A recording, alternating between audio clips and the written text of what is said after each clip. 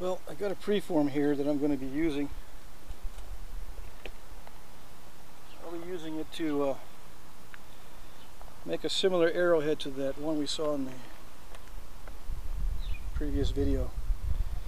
I'm uh, I'm not going to make an exact copy of this. Uh, I've, I've talked with some collectors and they, you know, they really don't agree with uh, reproducing these exactly because it, there's a chance of confusing them with the real thing and I understand their point. It'll be very similar. I, uh, I'm going to put a needle point, a needle tip on it.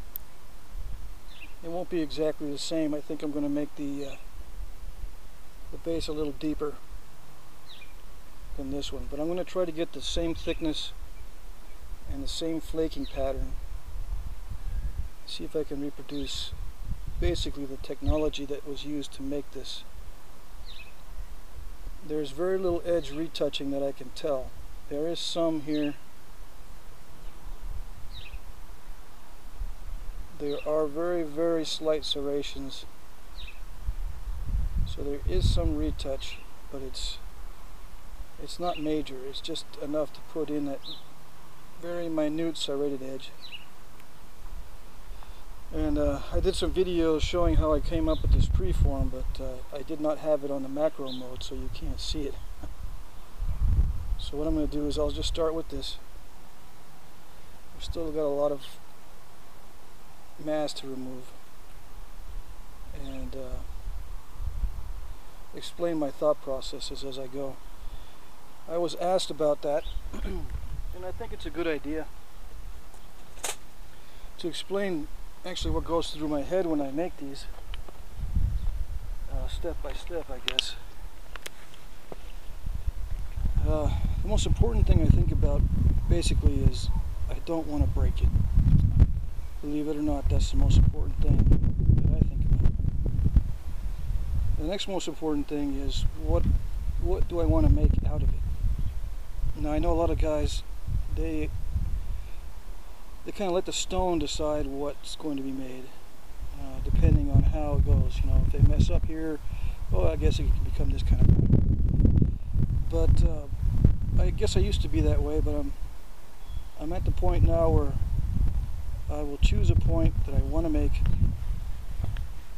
and just try to make it. And if it breaks, I'll just throw the pieces in my broken box. I won't try to make a different kind of point out of it.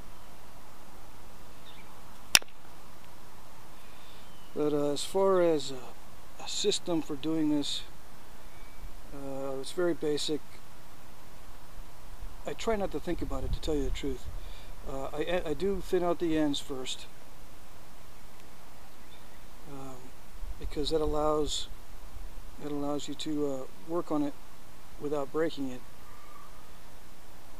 If you thin out the whole thing, uh, it leaves too much mm, too much of a chance for it to break in the middle because it's not going to support the bending stresses. When it's thinner on the ends, the stresses aren't as great in the middle when you're hitting on it. I know there's a lot of physics involved, but I, I don't think about any of that stuff. What I think about mainly is hitting below center line. This type of flint knapping this indirect percussion generates a lot of force.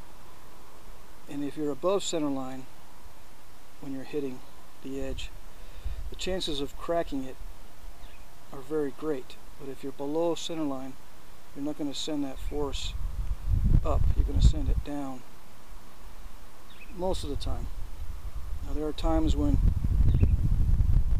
you generate so much force it doesn't matter where you hit, you're going to crack it. But for the most part, you have to learn how much force to apply and at what angle. And that just becomes second nature after a while.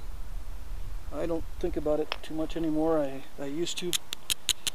Uh, I know that when I pressure flaked a lot, I used to think about the angle quite a bit. Um, with this, it just becomes second nature. I guess I've been doing it long enough that just I kind of know what angle to use and it just comes through practice.